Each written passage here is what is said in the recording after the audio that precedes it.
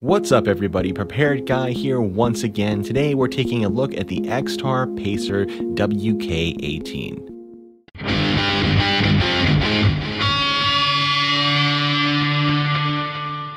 In the box, you get the Pacer, a reversible clip, two O-rings, a lanyard, and of course, instructions. There's no battery included, but it can run on one 18650 rechargeable battery or two 16 340s, or two CR123As. So there's a lot of options for you to choose from. I use the Xtar PB2C to charge my Xtar brand 18650 battery for the Pacer. The Pacer doesn't come with any onboard battery charging options, so there's no C-type charging port or anything like that. And yes, I know having a rechargeable removable battery is one of my pet peeves, but I'll make an exception for this light in this case. I'll also be reviewing the Xtar PB2C in a future video. As far as the run times for the Pacer goes, the 1 lumen moonlight mode can run for 47 days straight.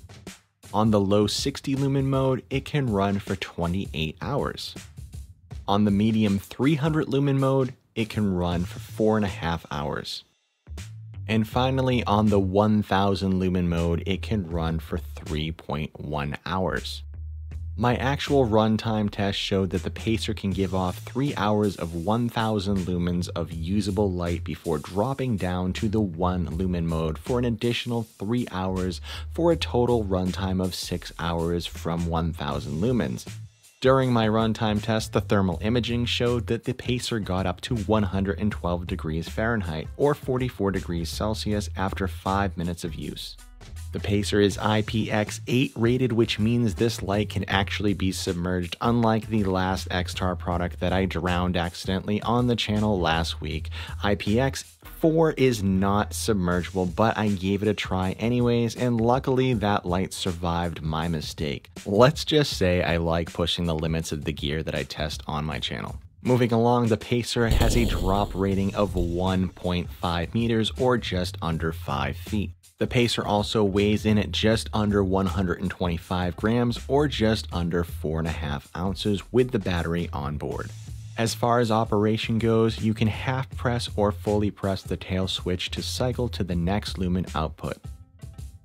In order to use the strobe mode, you have to double quick press and hold the tail switch down partially or fully on the second press to select the strobe mode.